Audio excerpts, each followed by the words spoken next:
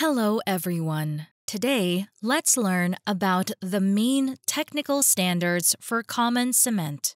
Standard consistency water consumption. According to Common Portland Cement, GB 175 2007, the main technical requirements of cement are divided into three aspects chemical index, physical index, and selectivity index. There is no standard consistency water consumption in the national standard indexes. Then why is it thought to be an important index for cement? It is also a physical index for common cement.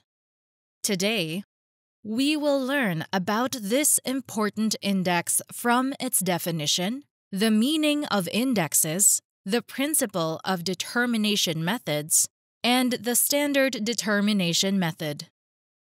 The standard consistency water consumption refers to the water consumption required when cement is mixed into a specific plastic state. That is, standard consistency. The tested setting time and stability of cement are different with different water consumption of cement slurry. During the test, the cement slurry should be determined under standard consistency so that different cement can be comparable. Therefore, we need to determine the water consumption of the slurry under the standard consistency. This is the purpose and significance of determining the standard consistency of cement.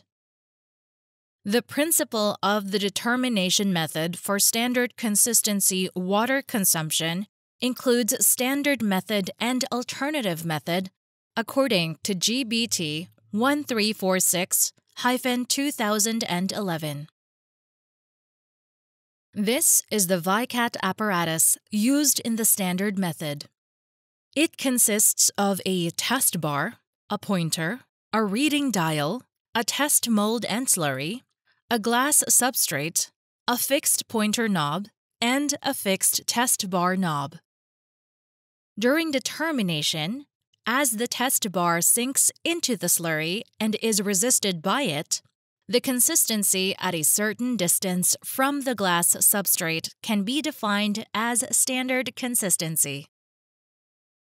According to the national standard, when the test bar of the standard VICAT apparatus sinks into the slurry for 30 seconds and is 6 millimeters plus or minus 1 millimeter away from the substrate, it is the slurry of normal consistency. The water required for cement with standard consistency is the standard consistency water consumption, which is expressed by the following formula. Test method for water requirement of standard consistency of cement. Standard method. Let's have a summary of today's lesson. First, the standard consistency water consumption of cement is the water demand when cement is mixed to standard consistency. Second, the standard consistency of cement refers to the state of cement slurry when the VICAT test bar falls for 30 seconds from the substrate by 6 mm plus or minus 1 mm according to the method specified in the regulatory requirements. The cement setting time and stability test in physical indexes shall be carried out under the standard consistency of cement. 3.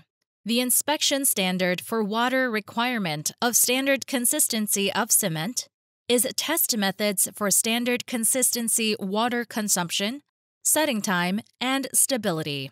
GBT 1346 2011. That's all for this class. Thank you.